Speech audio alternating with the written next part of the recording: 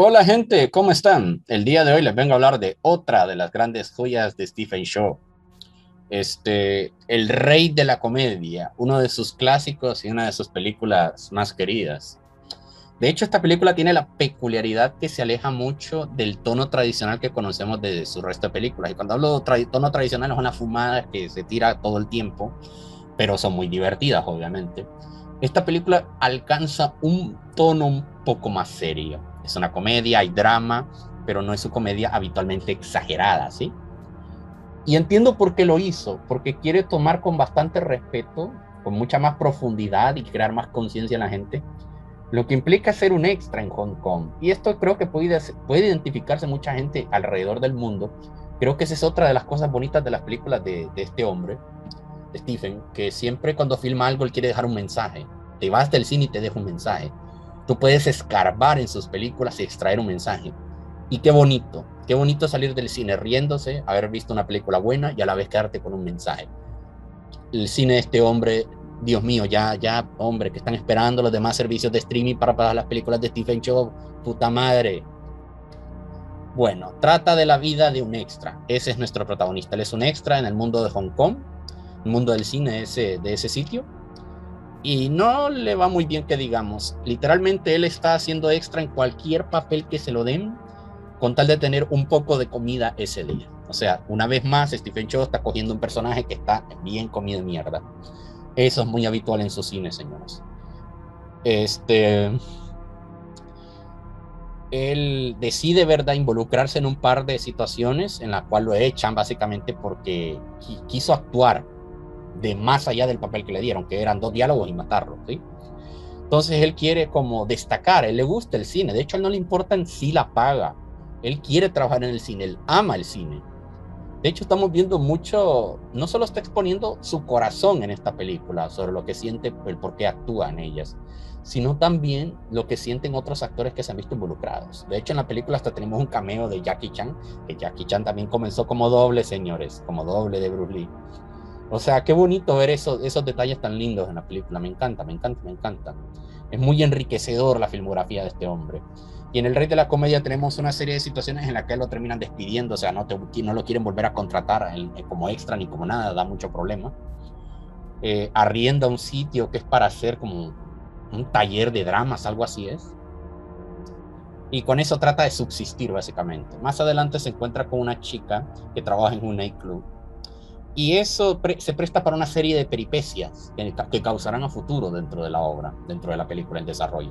Creará un drama y romance bonitos, bastante doloroso en ocasiones. Me asombró ver eso en, una de esas películas. Pero que dejan bonitos mensajes. Me divertí en muchas escenas. O sea, sí te ríes, sí te ríes con los diálogos, con las situaciones, con los giros que hay. Este, este tipo es ingenioso. O sea, este chabón es un genio sí me sacó varias risas, varios como, ah, verga, sí, no jodas, que yo en varias, en varias situaciones de diálogo. Eh, me divertí con la película, la pasé bien y entendí el mensaje que quiso enviar el director, que es un mensaje cargado de corazón. Una vez más, estamos con una película de mucho corazón por parte de él. Se nota que pone algo, él no solo actúa en sus películas que él filma o escribe, pone algo de su corazón en ellas, como queriendo decir, yo quiero decir algo con esta película yo quiero hablarle a los públicos no solo nacionales, sino fuera de mi país. O sea, como algo con lo que te puedas identificar y, la verdad, alguien que se ha creado toda su vida en Oriente y sepa tocarle el corazón a alguien que está al otro lado del mundo, debo decir que es una gran proeza, es una gran proeza y es muy lindo. Eh, en pocas palabras, recomiendo la película, sí, que la vean con amigos, sí, véanla, se van a divertir, es una buena forma de pasar el rato, muy entretenida, que les va a dejar un mensaje, sin duda alguna. Aquellos que amen el cine y la filmografía, obligados a ver esta película para entender el mundo de los extras, los directores, etc. Y me encanta los ánimos que le da Jackie Chan en el cameo, que sí que sí se puede, porque tanto él como Jackie Chan fueron dobles. Y mírenlo hoy, es muy lindo, muy lindo no olvidar eso. Y me encanta que siempre toque personajes comidos de mierda que la tienen bien jodida y es para reírse, para reírse. Es... Ya, traigan más. Ya, aquí están esperando los servicios de streaming para traer las películas de este sujeto, que es demasiado divertido. Y con eso los dejaría. No quiero indagar en la trama y las resoluciones porque esto es un drama y necesita verse, absorbirse y, que quede satisfecho. Así que no indagaré más. Vean El Rey de la Comedia, en serio. Creo que en 2019 le sacaron remake, secuela, no sabría ni explicarlo. El nuevo Rey de la Comedia se llama la película, una vez más dirigida por él, pero está con otra actriz, una actriz la que toca ahora, y una vez más el moderno cine de Hong Kong. Vean ese bonito contraste. Un relevo generacional está contando él básicamente. Y la planeo ver, ojalá me dé el tiempo y todo para verla y hablarla, porque siento que sí debo hablarla y hasta hacer el contraste con esta, que la he disfrutado mucho. Puta mano, qué rico el cine de los noventas que filmó este tipo me dejan con algo, me hacen reír, se sienten las situaciones incómodas, los ingeniosos finales.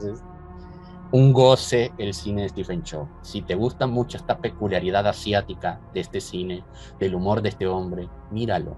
Si, si, si te chirría el cine asiático, anda a ver a mierdas coreanas que, que sobran en Netflix, ¿sí? Así que los dejo con eso y pasen buen día.